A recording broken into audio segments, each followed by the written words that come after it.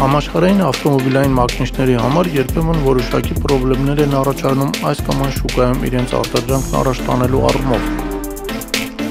Յուրաքանչյուր երկիր իր հարկային եւ մաքսային օրենքներն ունի, որով կարգավորվում է ավտոմոբիլային շուկան եւ երբեմն ավտոարտադրողները ստիպված են լինում ելնելով տեղական շուկայի մաքսային եւ հարկային դրույքներից որոշակի շտկումներ իրականացնել այս կամ այն մոդելի տեխնիկական բնութագրերում, որպեսզի այն գնորդից հավելյալ ծախսեր չպահանջի։ Իհարկե խոսքը խոշոր ավտոշուկաների մասին է, ինչպես օրինակ չինական ավտոշուկան կամ առանձին տարածաշրջանային որևէ շուկա, որի հարկային եւ մաքսային օրենքները որոշակի տարբերություններ ունեն ընդհանուր դրույքաչափերից։ Հաշվի առնելով ասիական որոշ երկրների եւ հատկապես Չինաստանի բարձր հարկերը, Volkswagen կոնցեռնը մտադիր է իր կազմում գտնվող երկու մակնիշների՝ Audi եւ Lamborghini-ի երկու սուպեր մեքենաների վրա հզոր V10-ի փոխարեն առաջարկել ընդամենը 5 մխոցային շարժիչ։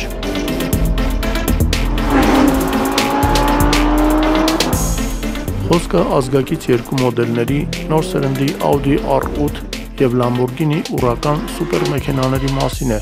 որոնց վրա որպես բազային շարժիչ առաջարկվում է 5.2 լիտր աշխատանքային ծավալով վեաձև 10 մխոցային շարժիչ։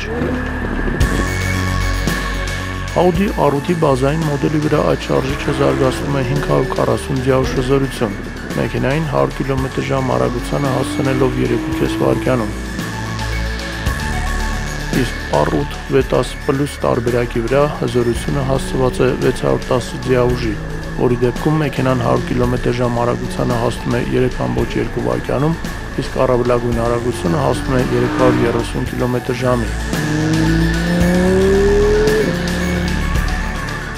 Նույն այդ ատմոսֆերային V10-ը Lamborghini Huracan-ի վրա դարձյալ զարգացնում է 610 դիաուշ հզորություն։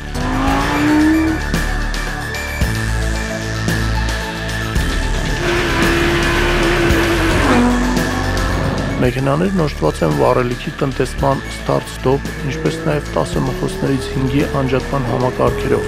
որոնց շնորհիվ վառելիքի ծախսը նման դինամիկ ցուցանիշներ ունեցող սուպեր մեքենաների համար կազմում է մոտավորապես 12.5 լիտր 100 կիլոմետրի։ Չնայած այդպիսի ուշագրավ ցուցանիշներին, ասիական որոշ շուկաների եւ հատկապես չինական շուկայի համար Այդ շարժիչները հավանաբար կփոխարինվեն 2.5 լիտր աշխատանքային ծավալով 5 մխոցային շարային տուրբո շարժիչներով։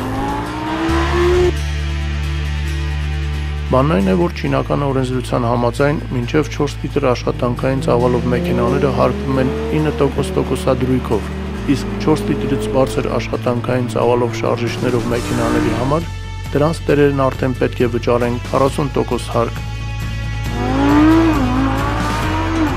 Ճապոնիայում այդ հարկը կտրուկ աճում է շարժիչի 2.8 լիտր աշխատանքային ծավալից։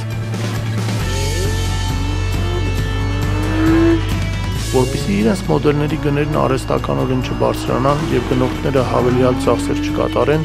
Audi-ում եւ Lamborghini-ում որոշել են փոխարինել այդ շարժիչները ավելի փոքրալիտրաժ տուրբո շարժիչով։ Ավելի քիչ աշխատանքային ծավալով շարժիչի տեղադրումը սակայն կարող է ազդել մեքենայի դինամիկ ցուցանիշների վրա, ինչը կարող է բացասաբար անդրադառնալ մեքենաների իմիջի, հետևաբար նաև սպառման վրա։ Սակայն Volkswagen կոնցեռնում այս առումով մտավախություն չունեն, քանի որ 5 մխոցային տուրբո շարժիչը զարգացնում է 600 դիաուշ հզորություն եւ ծախսում նույնքան վառելիք 100 կիլոմետրին, որքան V10-ը։ Մեքենաների դինամիկ հատկությունները դույզն ինչ չեն նվազի, իսկ V10 շարժիչի բնորոշ ձայնը կվերականգնվի մեքենայի աուդիո համակարգի միջոցով։ Շարժիչի հզորությունն ապահովում է կոմպրեսորը էլեկտրական շարժիչով, որի շնորհիվ ակնթարթորեն կարելի է հասնել հզորության գագաթնակետին, առանց այսպես կոչված տուրբոփոսի։